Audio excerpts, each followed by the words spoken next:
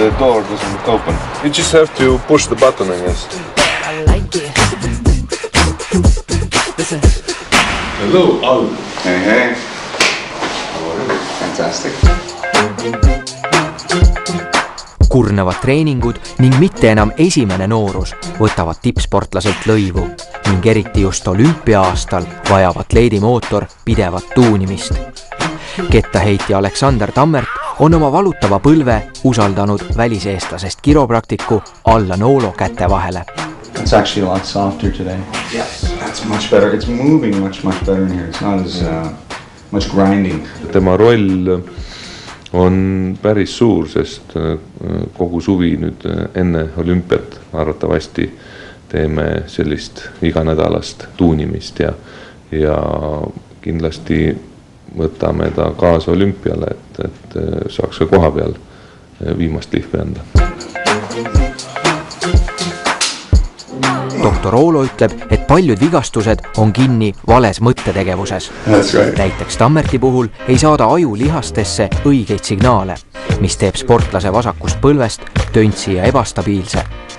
Allan Oolo poolt välja töötatud imemeetod ehk Trigenics püüab lihastesse jõudvaid ajusignaale muuta Dr. Austin's patients say Trigenics not only helps them with injury, but helps them run faster and jump higher. Hi, I'm Dr. Alan Olo Austin, the founder of the Trigenics Treatment and Training System. väliseestlase tervendavad käed on siin Kadrioru väikeses korter vastuvõtutoas Eesti olümpiasportlaste seas ülimalt nõutud. järgmistena on kord susisema hakata meie rannavõrkpalli esinduspaaril With this shoulder, when we get to a certain point, you see here his face is making a funny face, means he's in some pain. It cannot go any farther than this right now. meie koostöö on olnud küllalt lühike tegelikult, ma tulin ta juurde alles augustis, aga, aga tookord enne olulist EM-võistlust ja ja tulin haigena, läksin ära tervena, saime seal neljanda koha, mis on Eesti ajaloos parim EM-koht pallimängudes, nii et et järelikult on abi, et uskuge või mitte, aga, aga ja kiire abi just see, mida sportlasel vaja on. kuidas ennast tunned praegu? This, this range of motion, you feel the difference? Yeah, no it's not very painful anymore. Oolo vanemad olid eestlased, kes pärast teist maailmasõda paljude kaasmaalaste eeskujul Torontosse põgenesid. tagasi juurte juurde naases Kanadas kiropraktikuna nime teinud Oolo kahe tuhande kolmandal aastal, kui Eesti Olümpiakomitee ta meie atleetidele abiks palkas. ma räägin natukene eesti keeles, kui, kui äh, patsient äh, räägib äh, minuga ainult eesti keeles. Ma, ma proovin räägida eesti keeles äh, sees. ma ei äh, õppinud eesti keeles, kui ma olen väike laps, minu isa ja ema lahku. When I was very small, they broke up and uh, people make fun of you when you have a funny name. Olo, nobody can pronounce Ulu and Zulu and already you're from some other country and so um, minu isa said, my father said, "Oh, just speak English. Kanada väliseestlane on oma teadmisi kiropraktika vallas jaganud enam kui tuhandele arstile ja füsioterapeudile üle maailma. tema korteri seinal ripuvad justkui jahitrofeena fotod patsientidest, kelle jäsemeid ta väidetavalt mudinud on. siia ei kuulu üksnes Maarjamaalt pärit rahvusvahelise kaliibriga staarid. Celebrities like John Cusack, Farrah Fawcett, and David Bowie have all benefited from it. We met with its developer, Alan Austin, to find out more. I have a professional relationship with these people. Uh, I've actually, you know, treated them. And uh, in fact, um, Axel Rose, we were just talking about him last night, it was very interesting. He kept the entire crowd waiting outside for about an hour while he very comfortably sat down and just talked to me, you know. And um, nobody wanted to interrupt him, and the crowd was stamping and screaming, and I was thinking, it's very strange. But he, it turns out later that he has a habit that his he has a habit that he always wants to keep the crowd waiting. And so after I gave him the treatment, he talked to me for about one hour, just talking, sitting, and I was thinking, what's happening? Enda aju ja lihaste parema koostöö nimel paneb arst paar korda kuus selga kimono. Hämmastav on, et kui mees veedab poole oma ajast Kanadas ning teise Eestis, pluss õppereisid mujalegi, siis jõuab ta ikka kõigega tegeleda. I always say you can sleep when you're dead, so I, I don't sleep enough, but uh, I'm up uh, a lot of hours every day.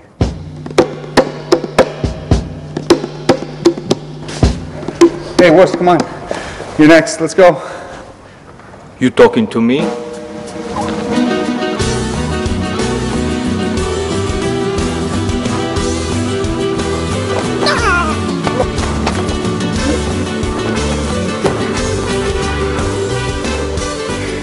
Kiusab nõrgemaid. doktor on nii entusiastlikuks muutunud, et pärast minu nüpeldamist kukkus ta nüüd veel kumiteed tegema. peaasi, et ennast rihmaks ei tõmba, sest kohe varsti tuleb tal minna naisi hullutama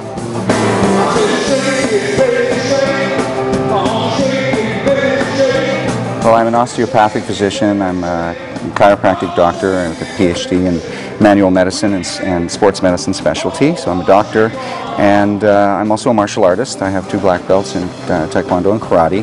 And uh, for my soul, I love to uh, sing and act and uh, write music.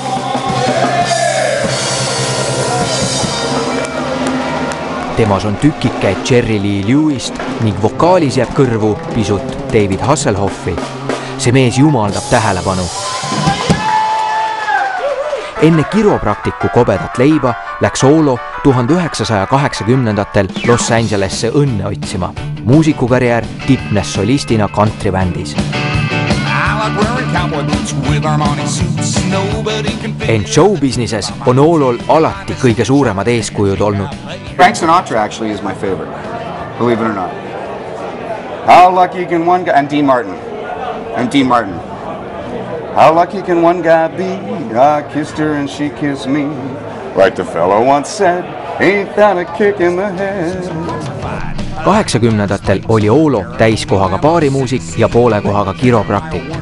kahekümne esimesel sajandil on aga doktor Oolost saanud tunnustatud kiropraktik, vähem tunnustatud karateeka, peaaegu andekas laulja, edutu koomiksikunstnik. The fact that they're incredibly beautiful women, physically, as well as internally, uh, really in my mind almost makes them super women.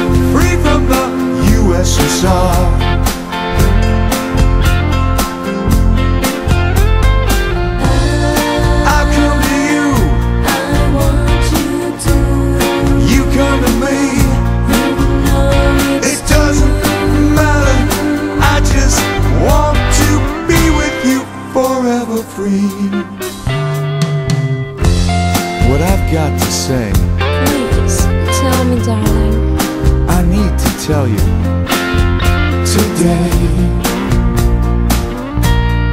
I never felt love this way. Now I need to phone ya. Yeah, I gotta phone ya.